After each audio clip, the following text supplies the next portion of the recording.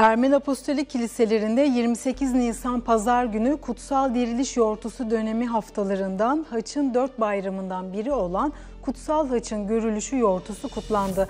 Ayrıca Kuruçeşme Yerevnan Surp Harç Kilisesi'nin sevgi sofrası da düzenlendi.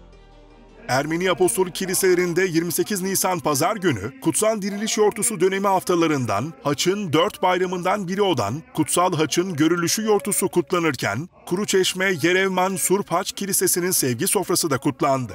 Kilisenin din görevlisi Üsrail Povagim Seropyan eliyle sunulan kutsal sunu ayinine kilise diakos, as diakos ve kıdemli okuyucuları Rabbin sofrasına hizmet ettiler. Günün İncil okuma parçasını kıdemli okuyucu Arthur Bağdasaryan okudu. Sonrasında Diakos Alen Nergis kutsal kaseyi kilisenin vaftiz sunağı bölümünden getirip Üsrail Povagim'e teslim etti. Surp Padarak sırasında okunan Rabbin duası, ardından Dervo Kormya yakarışı ve Patrik II. Saak'ın yaptırdığı toplu tövbeden sonra komünyon dağıtımına geçildi. Ayinin ardından Patrik II. Saak Türkçe ve Ermenice vaaz verdi. Kilise bize haçı öğretmek istiyor, haçın sırrını açmak istiyor. Çünkü biz haçlıyız. Dinimiz, dinimizin en büyük sembolü haç. İsa Mesih'in haçlandığı o haç bizim imanımızın sırrını gösteriyor. Onun için o haçın ne olduğunu anlamaya çalışmalıyız. Ve onun sırları var. Bizim hayatımızı renklendirecek, bizim hayatımızı güçlendirecek kurtuluşun işaretidir haç. Onun için haçın anlamları üstünde durmak gerekiyor. Haçın en büyük anlamı sevgili kardeşlerim sevgidir.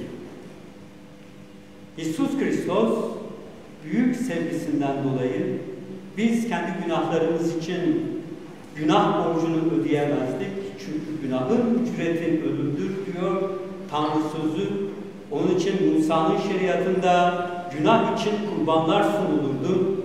Kurbanların kanı onların canı fidye olarak verilirdi. Ama hayvanların kanı ve canı bizim için günahlarımızın fidyesi olamazdı. Onun için bir kurban hazırlanmalıydı. İsus Kristus, Tanrı oğlu bizim için geldi. Başka hiçbir insanın, peygamberin, meleğin yapamayacağını yaptı. Bizim için hayatını verdi. Açın üstünde. Ama bu ölüm işareti aynı zamanda bir yaşam işaretidir. Bizi yaşatan en büyük anlamı içerir. Mesih sevgisinden dolayı hayatını verdi ama dirildi. Önce haç, sonra taç. Dolayısıyla bizim hayatımızda haç çok önemli bir anlamı var. Hristiyan olmanın yolu haçı taşımaktır. Haçı her gün taşımaktır. Bu haç yani bizim taşımamız gereken haç bizim kendi sorunlarımız değil. Biz bazen insanların taşımak zorunda olduğu sorunlar vardır. Onlara deriz bu da senin haçın. Biraz sabret, taşı.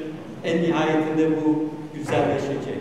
Ama Hisus'un sözünü ettiği haç bir insanın kendisinin dışında başkaları için taşıdığı haçtır. İsus kendisi için taşımadı o haçı, bizim için taşıdı. Dolayısıyla da bize diyor ki kendi dışında başka bir şey için zorluk çekmelisin, yorulmalısın, terlemelisin, acı çekmelisin, gerekiyorsa ölmelisin. Bana layık olmanın yolu boynuna haç takmak haçın evladı olduğunu göstermez. Sadece başkaları için çektiğin kaygı, başkalarının hayatına kattığın katkı ve onu yaparken kendinde olan eksilme bu seni değerli kılar. Mum yüz senede saklasanız mumdur ama ışık vermez. Işık vermesi için yanması lazımdır. Erimesi lazımdır. Ve onun için ünlü Türk şairi Nazım Hikmet'in dediği gibi sen yanmazsan, ben yanmazsam, biz yanmazsak nasıl çıkar karanlıklar aydınlığa demiş. İsus da öğrencisi sözlerinde dedi. Siz dünyanın ışığısınız. Siz dünyanın tuzusunuz. Ama ışık ve tuz olmak erimeyi gerektiriyor. Tuz olmak erimeyi gerektiriyor. Öyle ki biz cemaat hayatımıza baktığımızda cemaat hayatımız bizi Hristiyan yapabilir. Çünkü cemaat hayatında taşınması gereken pek çok haç var. Hristiyan olamazsınız eğer başkasını düşünmezseniz. Cemaatini düşünmezsen, halen son nefesine kadar ben ne verebilirim diye düşünmezsen Hristiyan olamazsın. Hristiyanlığın ruhu. Onun için başkası için yaşamayan insan güdük kalmıştır. Boyu kısadır, ruhu kısadır. Sadece kendi mutluluğu için yaşayan insan.